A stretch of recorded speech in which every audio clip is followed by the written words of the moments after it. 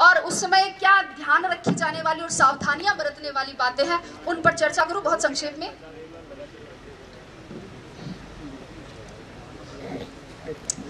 चूँकि अपनी ये जो सफलता की प्रक्रिया इसके, इसको मैं एक कृषि के रूपक से बताना चाहूँगी। अगर मैं बोल रही हूँ और आपको लगता है कि समय ज़्यादा नहीं हो रहा और आप बोर नहीं हो रहे तो एक बार तालियाँ बजाकर स्वागत करें।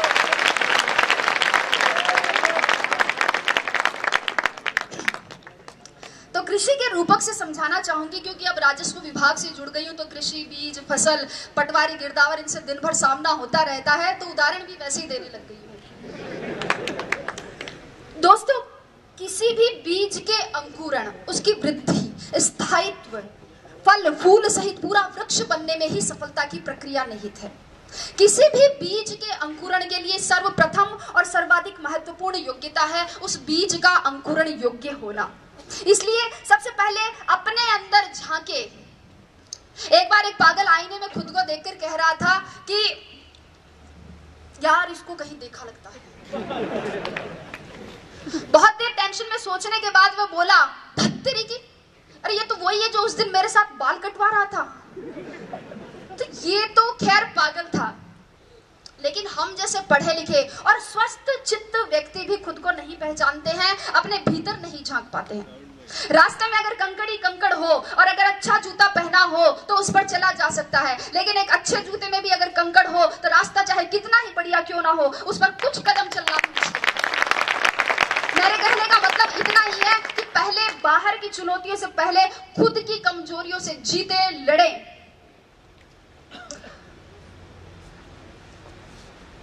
बीज के अंकुरण के बाद, अंकुरण के लिए आवश्यकता होती है उपजाऊ भूमि की।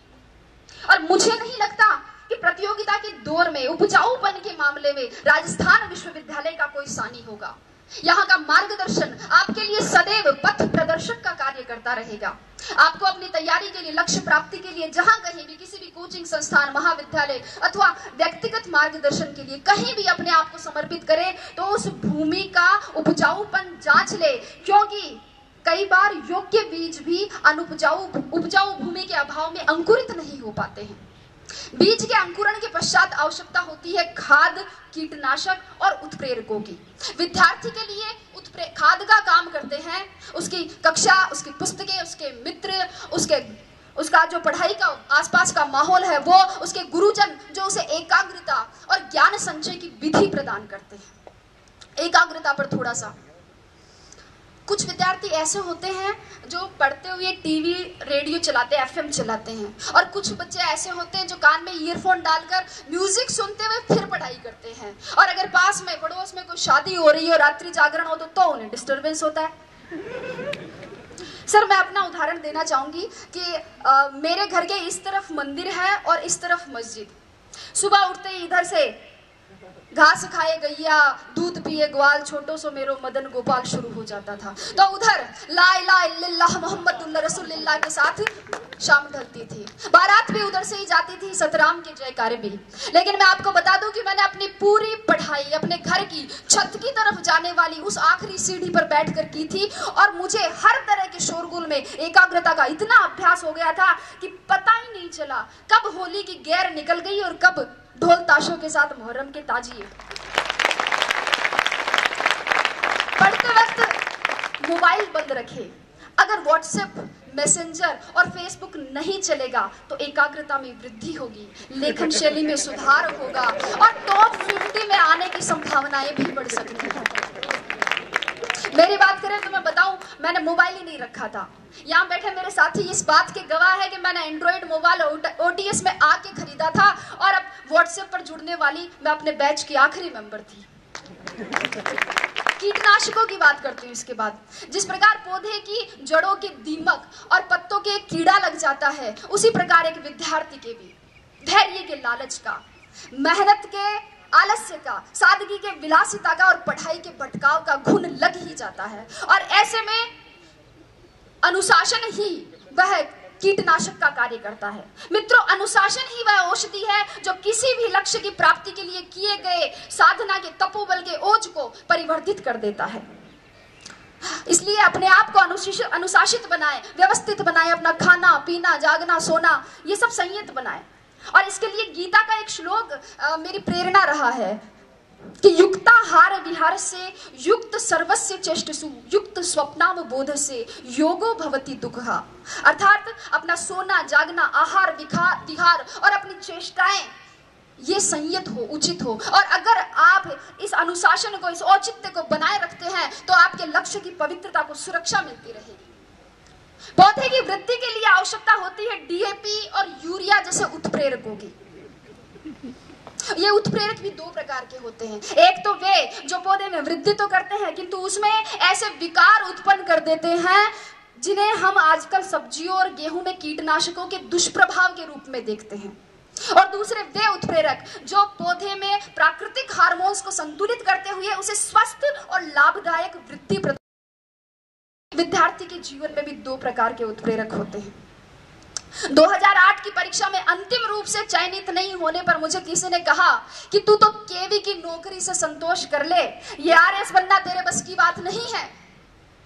तो एक दूसरे मित्र ने कहा कि गिरको कर रे कंथड़ा, हिरण कशो घी खाए, आख चरे और पून भगे, घोड़ा स्यू आगो जाए। कि हिम्मत कर, हुंकार भर हिरण कौन सा घी खाता है, लेकिन घोड़ों से आगे जाता है। एक था उत्प्रेरण और दूसरा था दुष्प्रेरण। दुष्प्रेरण ना स्वयं करे, न दूसरों के दुष्प्रेरण का शिकार हो। अपने मुकाम, अपने उसूल खुद तय करे और हर बार लोगों की अपेक्षाओं पर खरा उतरने की कोशिश ना करे। एक बार रात के समय एक दुकानदार बंद करने वाला था कि ये कुत्ता उसके पास में आया, कुत्ते के मुँह में थैली थी और उसमें कुछ सामान की लिस्ट थी। दुकानदार ने थैली ली, उसमें सामान डाला, बाकी पैसे डाले और सामने रख दी कुत्ते ने थैली मुँह में उठाई और चल दिया। दुकानदार से रहा नहीं गया। वह आश्चर्यचकित होकर कुत्ते के पीछे पीछे गया। ये जानने के लिए कि इतने समझदार कुत्ते का मालिक कौन है? कुत्ता कुछ देर बस स्टॉप पर खड़ा रहा। बस आई, उसमें चढ़ गया। कंडक्टर पास आते ही उसने गर्दन आगे बेल्ट में कुछ पैसे और घर का पता था। कंडक्टर ने उसे टिकट दे दी बाकी पैसे बेल्ट में वापस रख दिए। जो ही अपना स्टॉप नज़दीक आया कुत्ता बस में आगे की तरफ़ आ गया और पूंछ हिलाकर इशारा किया। बस रुकने पर कुत्ता रुक, उतर गया और आगे चल दिया। दुकानदार भी उसके पीछे पीछे चला। कुत्ते ने अपने पैर से दो तीन बार दरवाज़ा खटखटाया। मालिक बाहर निकल कर आया और उसने लाठी से कुत्ते की पिटाई की। आप सोच रहे होंगे कि क्यों?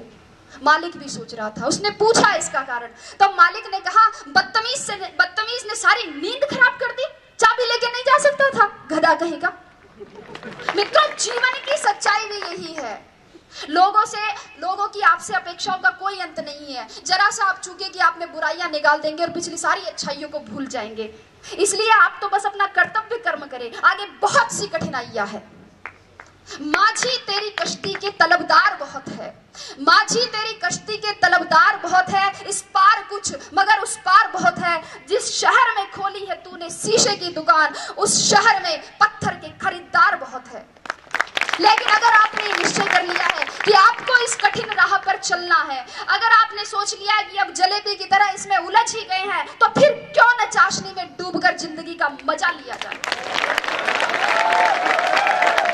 मेरे कहने का मतलब इतना ही है कि अपनी मेहनत को सफलता के मुकाम तक पहुंचाइए अपना संबल खुद बनिए अपनी तारीफ़ खुद करिए बुराई करने के लिए तो पूरा जमाना बैठा है जिन लोगों की नज़रों में बुरे हैं आप कह दे उन्हें कि वे नेत्रदान कर सकते हैं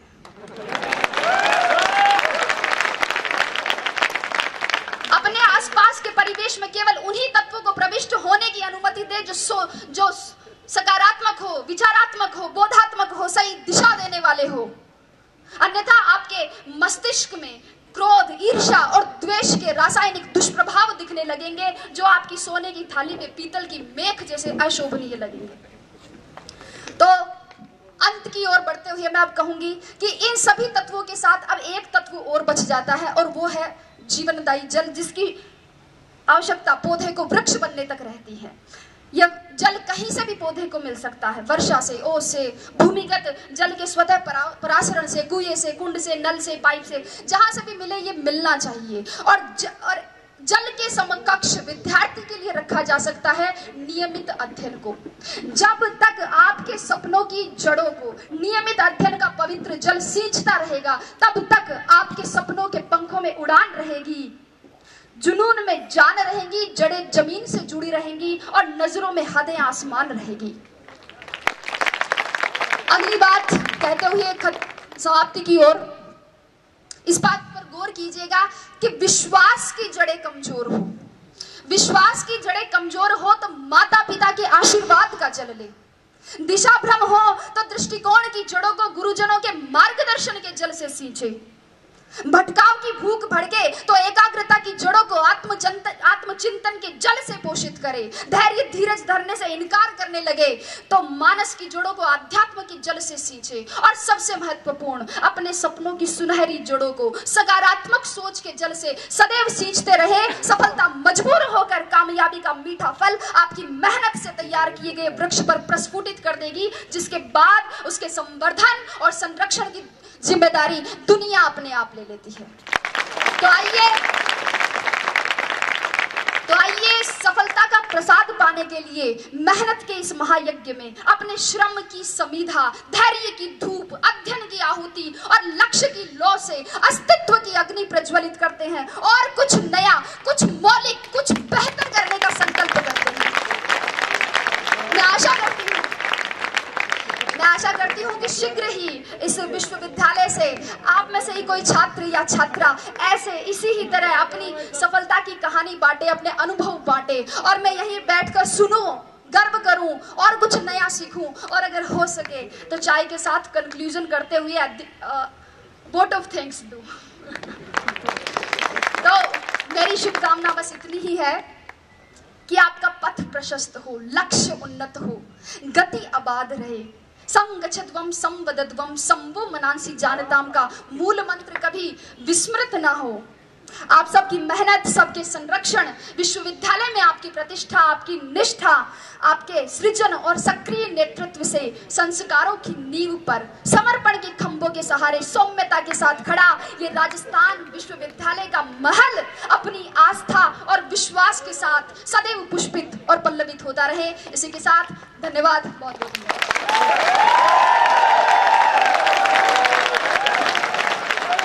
बहुत बहुत धन्यवाद। आपने अपने संबोधन में संप्रेषणीयता स्वावलंबन और आदर्शवादिता इन तीन महान मूल्यों का आ, संदेश आ, हमारे प्रिय छात्रों को दिया।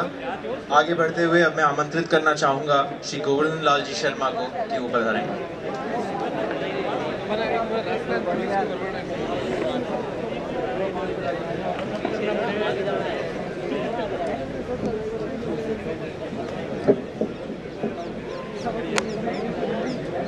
श्रद्धे मंच सम्मानीय श्रोताओं, राधिका के बाद का संबोधन निश्चित रूप से चुनौतीपूर्ण है।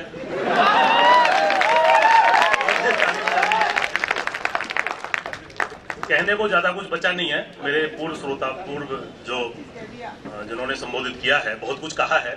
मैं जो अनछुए पहलू हैं, जिन पर कम बात हुई है, उस पर अपना फोकस करूँगा। तीन बातें मैं आपके साथ शेयर करूँगा। पहला प्लान बी दूसरा इंटीग्रेटेड अप्रोच और तीसरी प्रैक्टिकल अप्रोच चूँकि आजकल का जो आरएस का परीक्षा का पूरा पैटर्न है, वो एक त्रिवर्षीय, पंचवर्षीय योजना की तरह है।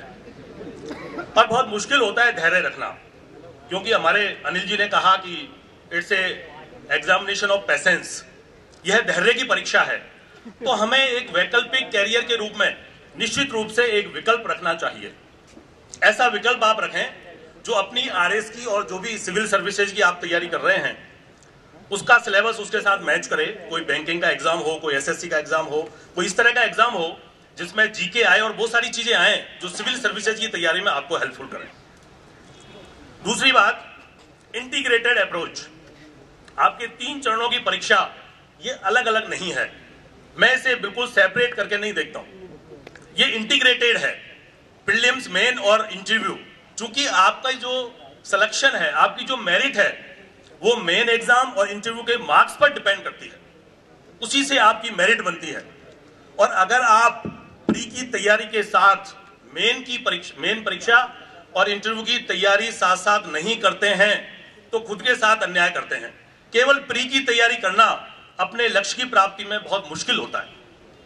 तीनों की तैयारी आपको एक साथ करनी है। क्योंकि मैं समझता हूँ कि जो मेन का सिलेबस है आरएस का, उसका प्री का 90 प्रतिशत मेन में समाहित है।